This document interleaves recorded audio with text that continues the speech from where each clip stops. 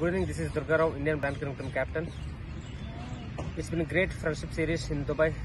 It's a big achievement for us. We're beating Pakistan after three years. And especially thank you AirWater for their support throughout these tournaments.